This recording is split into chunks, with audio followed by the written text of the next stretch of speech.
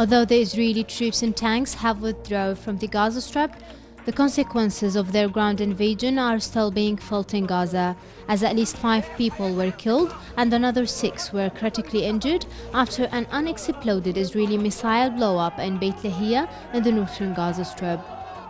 Among the dead are a foreign reporter for the AP agency and a local Palestinian journalist. Eyewitnesses said the incident occurred as a police engineering team was attempting to defuse an Israeli missile that landed days earlier near a Sheikh Zayed Towers and did not explode. On Wednesday, Israeli warships again opened fire on Palestinian fishermen off the coast of the southern Gaza Strip, in the second such incident since the agreed upon 72 hour truce came into effect. We Palestinians fishermen are simply suffering under war or under truce. We are not protected even though we do not go past the six miles limit. Our whole life depends on fishing. This is how we can provide food for our families, but under this situation we are paralyzed. The United States continued airstrikes this week against Islamic State fighters in northern Iraq. The humanitarian situation for tens of thousands of refugees who have fled Islamic State violence remains precarious. In a further sign of stepped up U.S. military involvement, it was announced on Monday that the CIA is arming fighters in the Kurdish region of Iraq.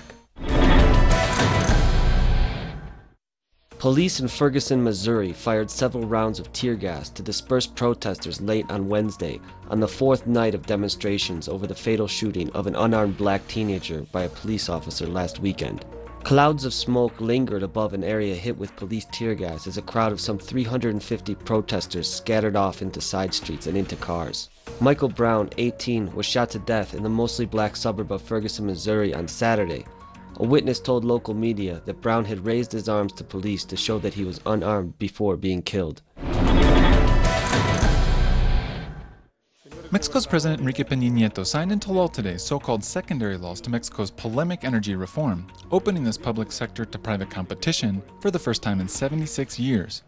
The energy reform opens the doors to private investment and to new technology. This allows for the increase of energy production in a transparent, efficient, competitive, and sustainable way. Eficiente, competitiva y sustentable. Recent polls conducted by several of the country's leading daily newspapers show that 65% of the population disapprove of the legislation, while staunch critics call it an attack on national sovereignty. We should defend rather than privatize our petroleum since it is a 100% Mexican country. That is what I believe. Opposition left parties and civil organizations have shown wide dissent to one clause, which will legally permit land appropriations.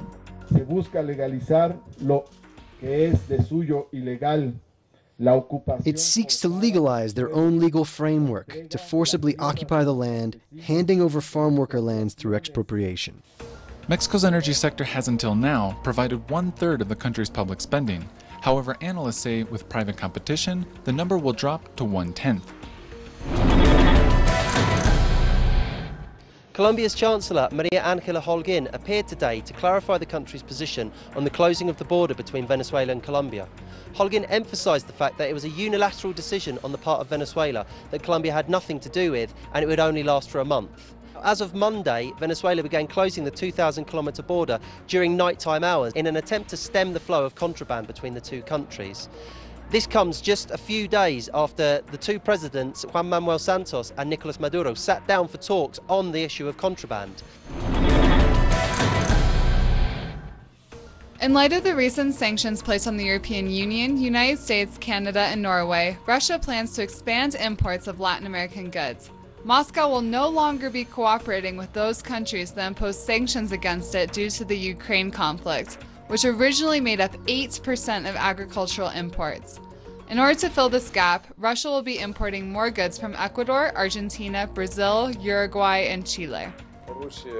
Russia is a net consumer, or better said, there is no Russian production of coffee, cacao, tropical fruits, and they can be valuable exports to our country. Already accounting for 70% of banana imports, Ecuador is looking to increase production of this and other commodities to meet the needs of the Russian market. Sanctioned goods that will now be imported from Latin America include dairy, meat, fruits, and vegetables. This decision comes after Russian President Vladimir Putin's six day Latin American tour in July, where he signed various bilateral agreements with regional leaders. 100 years ago today, the Panama Canal opened, changing world trade forever. With its complex system of locks, the 77 kilometer long canal was considered the greatest engineering project of its day and one of the wonders of the modern world. Following his maneuvers to have Panama separate from Colombia, US President Theodore Roosevelt bought the rights to the canal zone in 1903 and began construction in the same year. Some 5,000 workers died during the canal's construction. The United States considered the canal a protectorate until 1999 when rights to the land were turned over to Panama. In 2012, some 300 million tons of goods were transported through the canal, representing 5% of global trade.